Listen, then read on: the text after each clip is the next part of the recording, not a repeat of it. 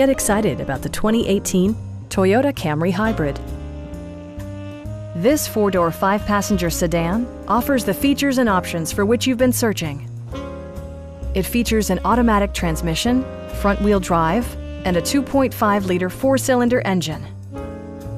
All of the premium features expected of a Toyota are offered, including a trip computer, an automatic dimming rearview mirror, a blind spot monitoring system, heated seats, heated door mirrors, and more. Features such as automatic climate control and leather upholstery prove that economical transportation does not need to be sparsely equipped.